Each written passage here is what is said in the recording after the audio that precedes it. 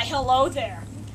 I've been asked a lot about how to be savage.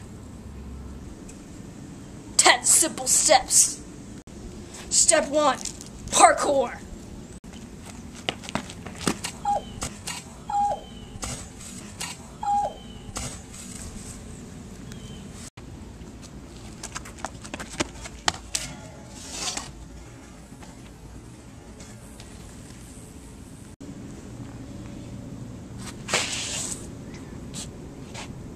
Step two kicks and punches. No parking anytime, more like parking all the time.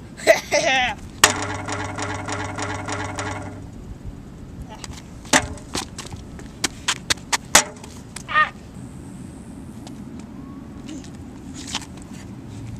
What the heck? Step three dress. Walking. In order to be a cool guy, you have to have a cool walk. Step four breaking. Yeah! Step five wear accessories that highlight your features. Step 8 Have a squad. Step 9 Be disrespectful. Hey, your, your beard looks like Chewbacca.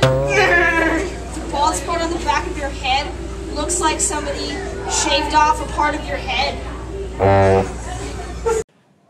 I'm deeply hurt and saddened that he feels that way about my bald spot and my beard.